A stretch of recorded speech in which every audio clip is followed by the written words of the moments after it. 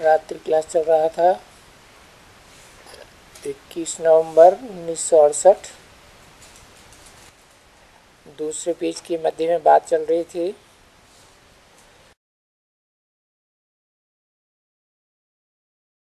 जो हद के सन्यासी हैं, उनका सन्यास। वो पुरानी दुनिया का सन्यास है।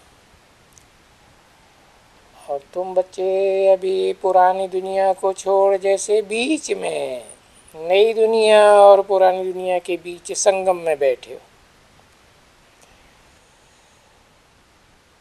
तुम्हारा ज्ञान है। नहीं तो सभी यही कहेंगे कि कलयुग है।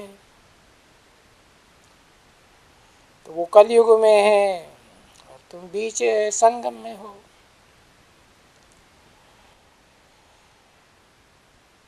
वो संगम युग भी होता है और वो होता ही है ब्राह्मणों का।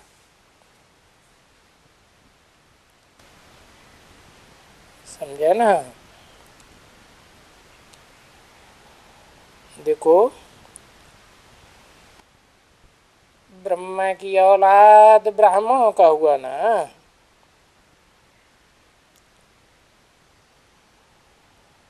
और उन ब्राह्मणों में ये है चोटी ब्राह्मण की।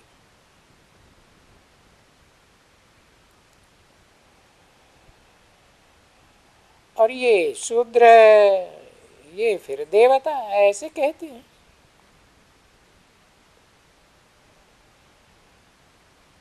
तो ये जो चोटी है, वो छोटा युग है ब्राह्मणों का।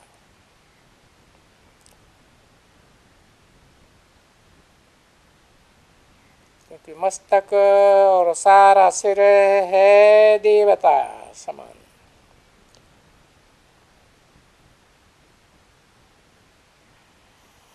भुजाएँ क्षत्रिय समान। पेट और जंग है वो भी वैश्य समान। बाकी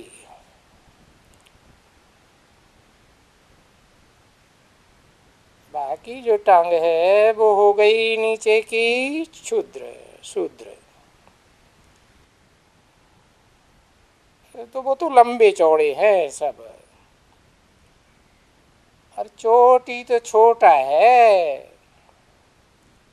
क्योंकि ये तो बहुत थोड़े टाइम की होती है।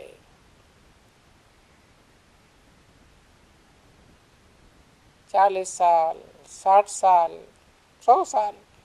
ज़्यादा से ज़्यादा। तो बेहद का बाप आते हैं? बस वहाँ से शुरू होते हैं। वहाँ मैंने कहा, कलयुग से।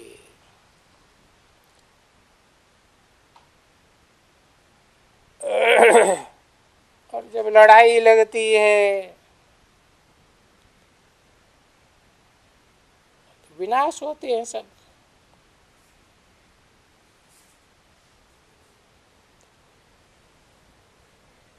कोई चालीस, पचास वर्ष का रखेंगे। संगम को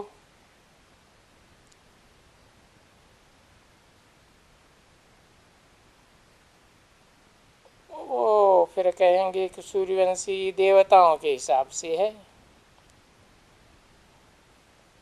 देवताएँ भी तो चार अवस्थाओं से पसार होते हैं ना। दुनिया में हर चीज़ चार अवस्थाओं से पसार होती है।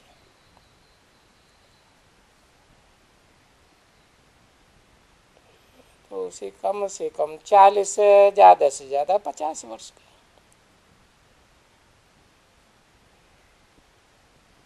तो संगम युग की शुरुआत के कहें छत्तीस सैंतीस से। उसमें चालीस वर्ष जोड़े तो छिहत्तर आता है।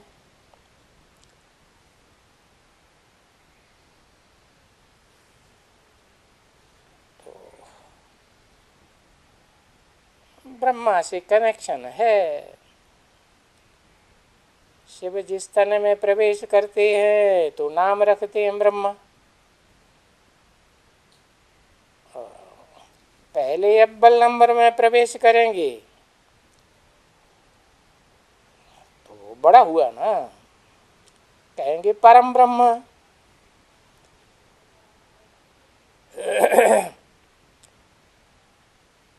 वानप्रस्थ अवस्था में प्रवेश करते हैं। साठ वर्ष में वानप्रस्थ अवस्था, चालीस वर्ष और तो छिहत्तर आता है। फिर बारी आती है, चतुर्मुखी ब्रह्मा की।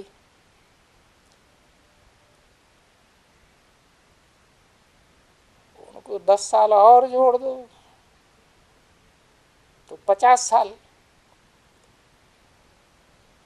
तो कहेंगे, उन्नीस सौ सतासी।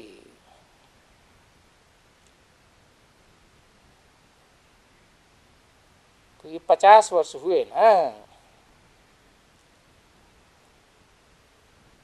रखेंगे पचास एक बरस का छोटा युग।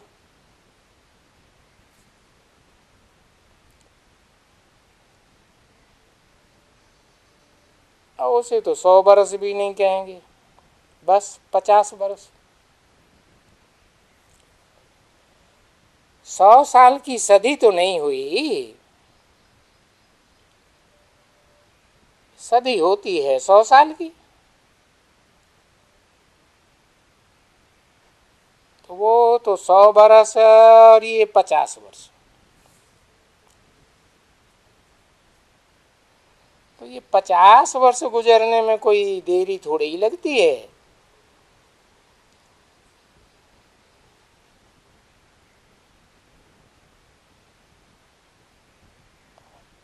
कहते हैं कि आज जन्म लिया, कल पाँच वर्ष का हुआ, दस वर्ष का हुआ।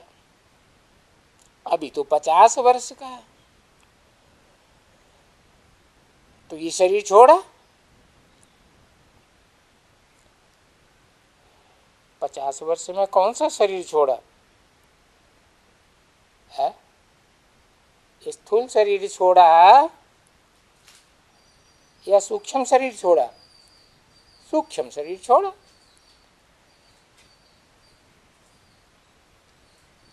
चौमुखी ब्रह्मा ने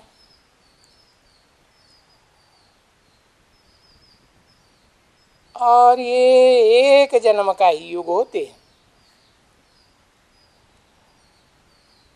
और ये है खुशी का युग। क्योंकि सुख शांति से चैन की बंसी बजाई ना। कृष्ण को सोलह कला संपूर्ण कहते हैं ना।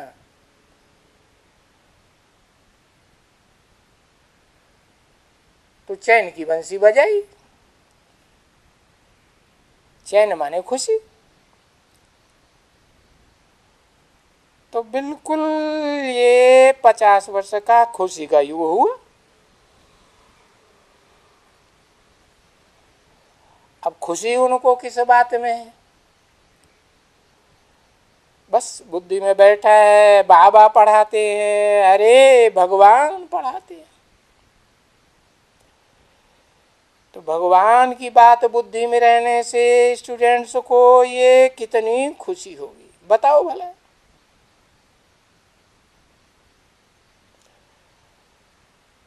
परंतु नहीं है खुशी स्टूडेंट्स को।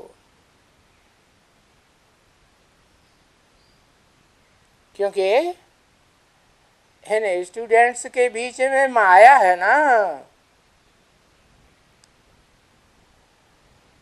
तो वो बहुत तूफ़ान में ले आती है। इसलिए इतनी खुशी नहीं है। कौन सी माया? छोटे रूप, बीज रूप वाली माया या बड़े रूप वाली माया? ये एक झाड़ है ना? तो बीज उसके बहुत छोटा होता है। और उसकी जड़ें? जो आधार मूर्त जड़े हैं, वो तो बड़ी होती है ना? तो माया भी बीज रूप से बड़ा रूप धारण कर लेती है। तो इतनी खुशी नहीं रहती है। नहीं तो विवेक से काम लियो।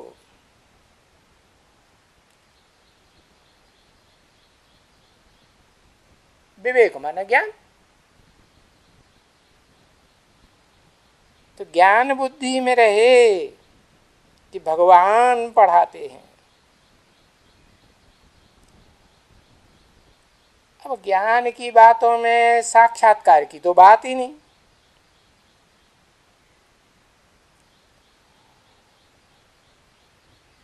ऐसे तो देखो मनुष्यों ने लिखी गीता है, उसमें भी है भगवान वाच। कौन पढ़ाते हैं? भगवान पढ़ाते हैं। परंतु वो तो कृष्ण का चित्र सामने ले लेते हैं। कलाबद्ध कृष्ण, कलाओं में बांधा हुआ। जिसकी यादगार मंदिर बच्चा बुद्धि के कृष्ण दिखाया हुआ है। छोटा बच्चा। तो उसका चित्र सामने ले आते हैं। तो छोटा बच्चा क्या चरित्र करेगा? है? वो तो बच्चा बुद्धि के ही चरित्र करेगा ना।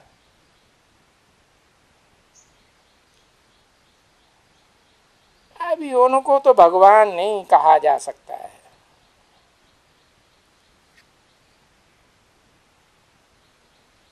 उसको क्यों नहीं कहा? उनको क्यों कह दिया? चाहे वो सतयुगी कृष्ण हो और चाहे वो संगम युगी कृष्ण हो। पहले तो बच्चा ही होगा ना, फिर बाद में बड़ा होगा तो नारायण बने। तो बच्चा बुद्धियों को भगवान थोड़े ही कहा जा सकता है।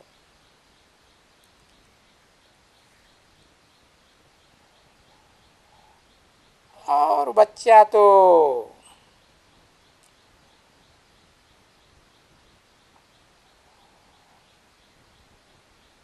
सत्युगी कृष्ण, वो तो जन्म, शरीर भी छोड़ेगा कि नहीं है इसका जन्म होता है तो शरीर भी छूटता है। वो गीता में भी लिखा है, ध्रुवम जन्म मृत से जो मरता है, उसका जन्म भी होता है फिर। जन्म होता है तो मरता भी है। तो जो जन्म मरण के चक्कर में आता है, वो तो भगवान नहीं हो सकता। क्योंकि भगवान का तो जन्म है, मृत्यु कहाँ होती है?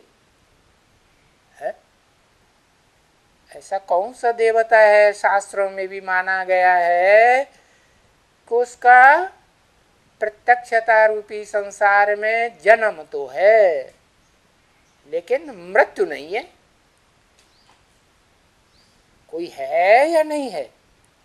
हाँ कहते हैं, महादेव। है? हाँ देवताओं में बड़े थे बड़ा देवता या मीडियम या छोटा? बड़े थे बड़ा देवता। तो भगवान तो मनुष्य को देवता बनाता है ना? तो छोटा मोटा देवता बनाएगा क्या? भगवान है ऊँचे ऊँचा, भगवंत कहा जाता है। तो कैसा देवता बनाएगा? ऊँचे ते ऊँचा देवता महान ते महान देवता, उसे कहते ही है महादेव। तो भगवान आवेंगे तो क्या बनावेंगे? हाँ? अरे साहूकार होगा तो अपने बच्चे को क्या बनावेगा? साहूकार बनावेगा। जमींदार होगा तो अपने बच्चे को जमींदार बनावेगा मल्टी मिलियनायर होगा तो बच्चे को मल्टी मिलियनायर बनाएगा। और ये भगवान है तो क्या बनावेगा? देवता बनावेगा। अरे नहीं, वो तो भगवान भगवती बनाता है, आप समान बनाता है। अगर मेल है तो भगवान और फीमेल है तो भगवती। तो वो, भगवान तो एक होता है कि दो होते हैं। भगवान तो एक होता है। तो जो भगवान है, वो मेल रूप में होता है या कभी फीमेल भी होता है? भगवान तो मेल ही होता है। तो वो एक मेल भगवान, वो तो जन्म मरण में नहीं आता है। तो उसको महादेव कहा जाता है। क्योंकि मेल है, अगर फीमेल हो तो क्या कहा जाए? महादेवी? नहीं, हा? तो वो भगवान पढ़ाते हैं। हम्म? पढ़ाते हैं, पढ़ाता है नहीं। मना डबल क्यों कर दिया? बहुवचन क्यों कर दिया? क्योंकि पढ़ाने वाली दो आत्माएँ हैं। एक है वो सुप्रीम सोल, जो कभी भी है, जन्म मरण के चक्र में नहीं आता है। और दूसरा वो जो आकर के सुप्रीम सोल, वो आप समान जिसे बनाता है तो कुछ तो फ़र्क होगा ना। तो क्या बनाता है? ऊँचे ते ऊँचा पार्टधारी हीरो पार्टधारी से षष्ठी रूपी रंग मंच का बनाता है। परंतु फिर भी अंतर तो होगा ना? तो एक आखिरी जन्म में आकर के मनुष्य बनेगा या नहीं बनेगा? हम्म, मनुष्य तो बनता है फिर। तो बताया तो दोनों ही आत्माएँ जो सुप्रीम सोल है और सुप्रीम सोल आकर के आप समान बनाते हैं, जिसे बड़े बच्चे को तो दोनों मिल करके पढ़ाते हैं। है? और वो जिसमें सुप्रीम सोल प्रवेश करते हैं, वो फिर उठते, बैठते, चलते क्योंकि स्टूडेंट तो है ना, कि पहले से ही टीचर है। पहले स्टूडेंट है, फिर बाद में भले ऊँची पढ़ाई पढ़ के क्या बने? टीचर भी बन जाए। तो कोई तो बड़ा इम्तान पढ़ते हैं स्टूडेंट है? वो भी उठते, बैठते, चलते, उनको याद तो रहती है ना। कि मैं क्या पढ़ाई पढ़ रहा हूँ? उच्च पढ़ाई पढ़ रहा हूँ। तो बुद्धि में तो आता है ना, ये ऊंच पढ़ाई कौन पढ़ाता है? अब यहाँ तो तुम बच्चे जान गए हो, जो पढ़ाने वाला है, वो सुप्रीम टीचर है। कोई सामान्य टीचर तो नहीं है। हाँ तो याद रहती है कि सुप्रीम टीचर है क्या पढ़ाई पढ़ाई रहे हैं। और स्टूडेंट को याद रहती है कि मैं क्या पढ़ रहा हूँ। है? और स्टूडेंट को टीचर भी याद रहता है सुप्रीम टीचर की कौन पढ़ाए रहे हैं? सुप्रीम टीचर पढ़ाए रहे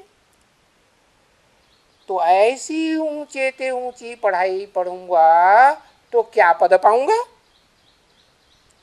बुद्धि में तो रहता है ना। तो उनको याद ही रहता है। कब तक याद रहता है? जब तक पूरा इम्तान हो जाए, तब तक बुद्धि में याद रहता है कि हमको ये ऊंचते ऊंच पद पाना है। क्या है ऊंचते ऊंच पद? है? भगवान मनुष्य को पढ़ाई पढ़ाने आते, मनुष्य को नर कहा जाता है। नर को आकर के क्या बनाते हैं? नारायण बनाते हैं। है? अब उनको नारायण कहो या विष्णु कहो? है? नारायण को नाम ही है। नर अयन। अयन मने घर। कहा घर है, है? ज्ञान जल में घर है। तो विष्णु को भी तालाब में दिखाते हैं ना, क्षीर सागर में दिखाते हैं ना तो उन्होंने, देखो, नेपाल में तालाब बनाई दिया अब इतना बड़ा क्षीर सागर तो नहीं बना सकते। तो चाला तालाब में दिखाया। तो बुद्धि में याद रहता है जब तक इम्तान न हो जाए, तब तक याद रहता है कि मुझे ये नरसी नारायण अर्थात विष्णु बनना है। विष्णु कहो, प्रवृत्ति मार्ग का, या अर्धनारीश्वर कहो। बात तो एक ही हो गई ना, हा? तो इम्तान जब हो जाता है तो पीछे भी याद तो रहता है ना। है? परंतु फिर क्या होता है? इम्तान हुआ और पद पाया तो फिर पीछे याद नहीं रहेगी टीचर की हा? फिर पद का नशा आ जाता है ना हा? तो याद नहीं आएगा सुप्रीम टीचर क्यों क्योंकि फिर तो वो सुप्रीम टीचर जो है, सुप्रीम बाप है, बेहद का निराकारी बाप, सदा शिव, सदा निराकारी, निर्विकारी, निरहंकारी रहता है कि कुछ कटौती हो जाती है। नहीं। तो वो तो फिर नई दुनिया में चले जाते हैं। तो याद कैसे आएगा?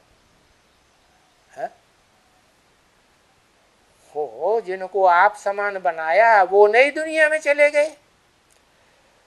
और जो सुप्रीम सोल बाप है, वो तो नई दुनिया में आते ही नहीं है। तो जब सुप्रीम सोल नई दुनिया में आते ही नहीं है तो वहाँ याद टीचर आएगा? है? याद ही नहीं आएगा। तो ये है तुम बच्चों का सभी का भी अंतिम जन्म।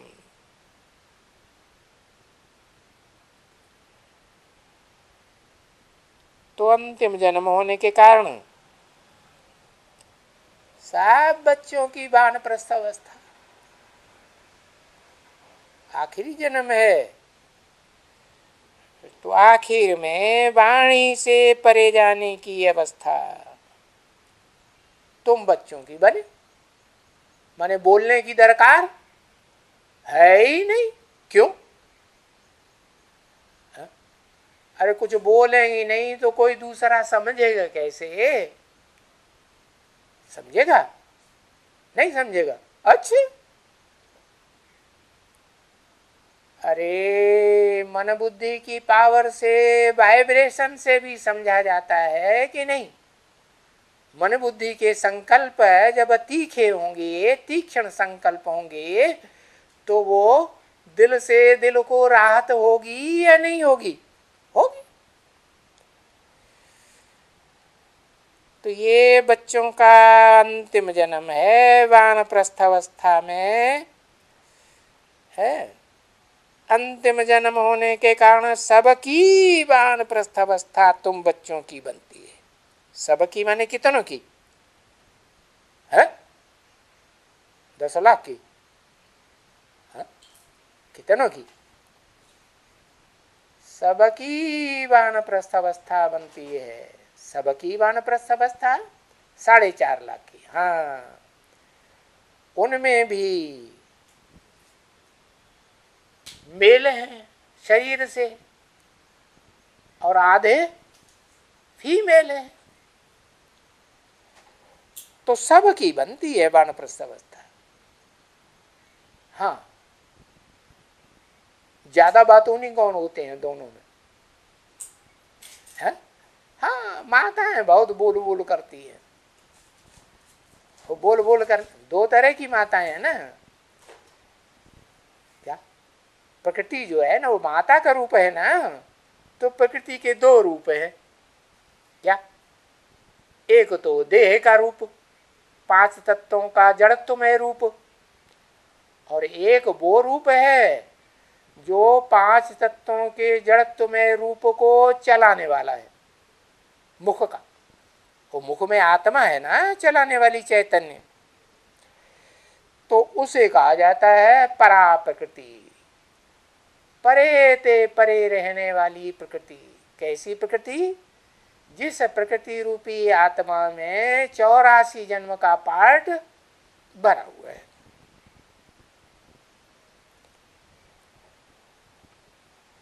तो छोटे बच्चों को भी ये शिक्षा देनी चाहिए। क्या? जो बेसिक नॉलेज लेने वाले बच्चे हैं, उनको शिक्षा नहीं देंगे कि भाई बाण प्रस्थावस्था प्राप्त करना है जब तक बाणी से परे इसी दुनिया में नहीं जाएँगे तो फिर शांति धाम क्या? जा सकेंगे? है? शांत हो करके जा सकेंगे? नहीं जा सकेंगे। तो जो छोटे बच्चे हैं बेसिक नॉलेज वाले, हैं? ज़्यादा संख्या किसकी होती है? बेसिक नॉलेज में रहने वालों की संख्या ज़्यादा होती है। या ऊँची पढ़ाई पढ़ने वालों की संख्या ज़्यादा होती है? ज़्यादा संख्या किसकी रहती है? बेसिक नॉलेज वालों की। तो उन बच्चों को भी ये शिक्षा देनी चाहिए कि भाई वान प्रस्थावस्था में जाना है तो क्या करना है, है? मन बुद्धि के वाइब्रेशन को तीखा बनाना मन बुद्धि का काम लेंगे तो मन बुद्धि तीखी बनेगी, है? और वाचा से बोलते रहेंगे कर्म इंद्रियों से कर्म करते रहेंगे तो मनसा तीखी बनेगी? नहीं बनेगी। तो ये एक दिन आएगा ज़रूर, जो ये बच्चे भी जो ढेर के ढेर बेसिक नॉलेज के स्कूल वगैरह है ना, है? उनके टीचरों को भी है, ये डायरेक्शन मिलेंगे। बेसिक नॉलेज के टीचर होते हैं ना हाँ ज़्यादा पढ़ाई पढ़े वाले होते हैं, ये थोड़ी उनकी पढ़ाई कम होती है। हाँ थोड़ी पढ़ाई होती है। तो उनको भी डायरेक्शन मिलेंगे, हैं? जब डायरेक्शन मिलेंगे, तब इन सबको अपने बाप का परिचय दियो बच्चों को छोटे छोटे बेसिक नॉलेज के बच्चों को। है ना? हाँ इक्कीस नवंबर उन्नीस सौ अड़सठ की रात्रि क्लास का तीसरा पेज। तो फिर, बाप का परिचय मिलेगा, बेहद के सुप्रीम सोल बाप का। कैसा परिचय? कि वो सिर्फ़ निराकार नहीं है, वो निराकार होते हुए भी क्योंकि बेसिक नॉलेज वाले तो क्या समझते हैं? बाप क्या है? Supreme soul. बिंदी है। और वो सदा काल बिंदी ही रहता है। अरे, बिंदी है तो तुम्हें गीता ज्ञान कैसे देगा? ज्ञान देने के लिए बिंदी फुदुक फुदुक करके ज्ञान आवाज़ निकलेगी क्या? नहीं, मुख चाहिए ना। देखने के लिए, दृष्टि देने के लिए, सकाश देने के लिए आँखें चाहिए ना। फिर बच्चों की बातें सुनने के लिए प्रश्न प्रश्नोत्तर भी चाहिए ना? हाँ। तो कोई बात समझ में नहीं आती है तो बच्चों को पूछना पड़ता है टीचर से। तो प्रश्न उत्तर करने के लिए कान भी तो चाहिए ना? है? नहीं तो बाप सुनेगा कैसे बच्चों की बातें? सुनेगा? हाँ। तो फिर ऐसे बाप का अरे, ऐसे बाप का परिचय दियो, है? जो बाप सुप्रीम सोल निराकारी है, वो साकारी मनुष्य तन में मूर्ति में प्रवेश करे। वो तो अमूर्त है ना? अमूर्त माने उसकी तो मूर्ति है ही नहीं। उसको अपना शरीर है ही नहीं। तो वो मूर्तिमान शंकर में प्रवेश करता है। तो यादगार जो मंदिर है ना पुराने पुराने है? जैसे सोमनाथ मंदिर था ना? तो उसमें मूर्ति भी दिखाते हैं ना? है? तो शंकर की मूर्ति भी दिखाते हैं। और फिर वो शंकर की निराकारी स्टेज वाली लिंग मूर्ति भी दिखाते हैं। दिखाते हैं ना? हाँ? और बाप कहते हैं, न तो मेरी लिंग मूर्ति की यादगार है।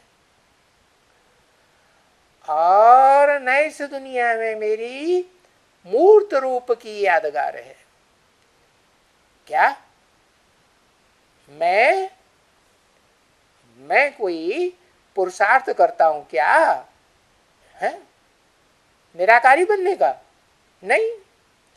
तो जो निराकारी बनने का पुरुषार्थ करते हैं और मुझे याद करते हैं तो याद की सारी महिमा है। क्या? याद कहो। है? उसको ऊर्जा कहो। याद की ऊर्जा। अब जो जितनी याद करेगा, किसको? साकार निराकार के मेल को जितना याद करेगा, उतना वो पावर आत्मा में भरेगा। तो ये बाप का परिचय दियो, साकारी सो निराकारी बाप का। तो तो फिर उसकी महिमा होगी। बाप की महिमा निराकार की होगी कि जब साकार शरीर धारण करे तो गुण अवगुण की महिमा होती है, है? हाँ तो उनकी महिमा तब करें जब पहचाने कि वो निराकार ज्योति बिंदु जिस बिंदु को अति सूक्ष्म सूक्ष्म कितना भी छोटा बनाते जाओ बनाते जाओ बनाते जाओ। लंबाई चौड़ाई होती है क्या? आकार प्रकार उसका बहुत बड़ा हो सकता है क्या? नहीं। तो आजकल तो ये भारत माता की, फलाने की क्या क्या स्तुति करते रहते हैं। है? भारत माता की जय हो। बोलते हैं ना, भारत माता की जय हो। कभी बोलते हो, भारत पिता की जय हो? है, नहीं बोलते। तो किसकी स्तुति करते हैं, किसकी प्रार्थना करते हैं? है? माताओं के पीछे लगे रहते हैं। देवियों की पूजा करते हैं। है? तो प्रार्थना करते हैं कुछ न कुछ। बाप कहते हैं, नहीं, ऐसा भी समय आएगा जो फिर सभी को ऐसे ही कहेंगे। कैसे? क्योंकि करेक्टर सुधारना है ना। क्या? हाँ। उस करेक्टर? बच्चों को ये जब मिलेगा करेक्टर सुधारने की बात, सुधारने वाला तो उनका करेक्टर सुधरेगा। कैसे सुधरेगा? है? शिव ज्योति बिंदु की याद में रहने से सुधरेगा। निराकार की याद में रहने से करेक्टर सुधरेगा। हाँ? इब्राहिम, बुद्ध, क्राइस्ट और उनके फॉलोअर्स का करेक्टर सुधरता है क्या? हाँ? सुधरता है कि हिंसक बने रहते हैं, राक्षस, जानवर बने रहते हैं खून खार खून खार दूसरों को दुख देने वाले। कि देवता बनते हैं? देवता देवताओं के तो करेक्टर बड़े अच्छे होते हैं, बहुत मीठे। तो देखो, बच्चों को ये सुप्रीम सोल बाप जब साकारी बने और मिले, निराकार सो साकारी बने और साकारी बन करके मिले, तब उनका सरेक्टर सुधरेगा। याद में रहते रहते रहते ये हो सकता है तो ऐसे छोटे छोटे बच्चे बेसिक नॉलेज लेने वाले, जिनकी बुद्धि में यही इतना ज्ञान है कि मैं आत्मा, मेरा बाप ज्योति बिंदु आत्मा। लेकिन कौन है? अरे बाप कोई सर्वव्यापी होता है क्या? है? बाप तो सर्वव्यापी नहीं होता। बाप होता तो एक ही होगा ना? अरे कोई बच्चा ऐसे कहेगा, नहीं, ये भी मेरा बाप, वो भी मेरा बाप, वो भी मेरा बाप। है? एक बाप बताएगा या अनेक बाप बताएगा? एक बाप बताएगा। तो वो सुप्रीम सोल बाप हेवनली गॉड फादर हेवन स्थापन करने वाला है ना?